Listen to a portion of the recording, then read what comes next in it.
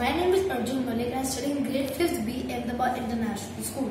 Today I made an automatic boom barrier and a limousine car in RoboFun Lab Ahmedabad. In making of the automatic boom barrier, I used an EV3 brick, a large motor, an ultrasonic sensor and many non-electronic components. In the making of the limousine car, I used an ultrasonic sensor, two large motors, one EV3 brick and many non-electronic components. When the automatic boom barrier detects the car under 30 centimeters, it opens and waits until the car passes and then closes on its own. Let me show you a demo.